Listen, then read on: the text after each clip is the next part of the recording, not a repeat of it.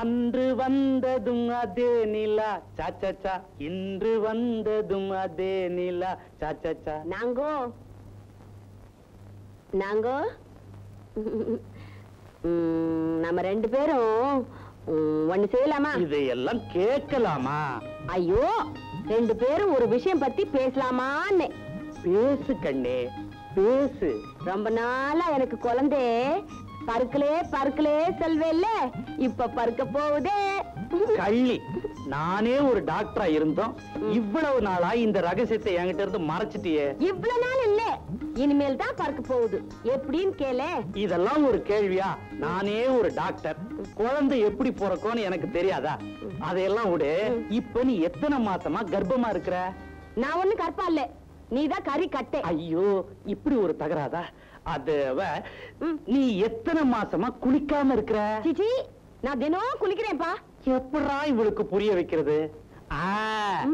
நீ எத்தனை மாசமா புள்ளதாச்சியா இருக்கேன் புள்ளத்தாச்சியா இருக்கிற?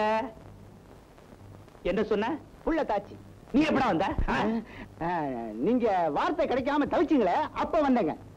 நீங்க கொண்டாட சொன்ன மருந்து கொண்டாந்துருக்கேன் வச்சுட்டு போடா. முந்திரி கொட்டை. ராஸ்கோல் நல்லதுக்கே காலம் இல்ல நீ சொல்லு கண்ணா. பாப்பா நீ ரொம்ப அவசரப்படுற. நான் இன்னும் புல்தாச்சி ஆவே இல்ல. ஐயோ இனிமேல் தான் ஆவ போறேன்னு அவர் சொன்னார். அவரு சொன்னாரா? யார் அந்த அவரு? அவர் தான் மனோகர். இந்த சின்ன வயசுல அவருக்கு எவ்வளோ அறிவு. எனக்கு இன்னும் புள்ளையே இல்லே சொன்னேன் நீ ஒண்ணு கவலைப்படாதே நான் குடுக்கறேன்னு சொன்னாரு. அட பாவி அவனுக்கு எத்தனை நாள் வைத்தியம் பார்த்திருக்கிற? அவனா அப்படி? ஆமாங்கோ. வெள்ளிக்கிழமை விளக்கு வைக்கிற நேரம் வரேன்னு சொன்னாருங்கோ. வெள்ளிக்கிழமை விளக்கு வைக்கிற நேரம் வர்றேன்னு சொன்னானா? வரட்டும். நீங்க டிஸ்பென்சரி போயிடுவே சொன்னேன் ரொம்ப நல்லதா போச்சு. அவர் இருந்தா எனக்கு தைரியம் வராது சொன்னாருங்கோ. ஓஹோ. அவர் வர்ற நேரம் ஆச்சு. நீங்க டிஸ்பென்சரி போங்கோ. அடி பாவி இப்படி எல்லாம் நடக்கவா? உன்னை அங்கே இருந்து கூட்டியாந்த என்ன பழைய ஜோட்டால அடிக்கணும். ஐயோ என்னங்க உங்களுக்கு இந்த ஆசை? பழைய ஜோட்டால அடிச்சுக்கிறேன் என் கையில எல்லாம் புச்சாக்கிது.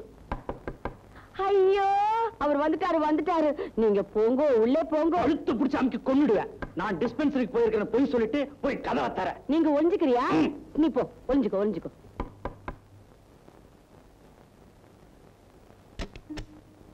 வாங்கோ வாங்கோ வாங்கோ. மனோகர் நீ எங்கே வராம போயிடுவீங்களோன்னு நான் தவிச்சு போயிட்டேன். நான் தயார். நீ சொன்னீங்களே குழந்தைய கொடுக்கறேன்னு. எப்போ? டாக்டர் சார் இல்லையே. இல்ல இல்ல.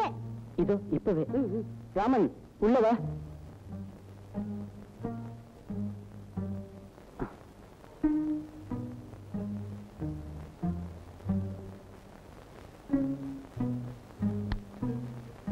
அம்மா உங்களையும் டாக்டரையும் நான் தெய்வமா மதிக்கிறேன். இந்த குழந்தைய அனாதைன்னு சொல்லலாம். இது பிறந்த சில நாட்கள்ல.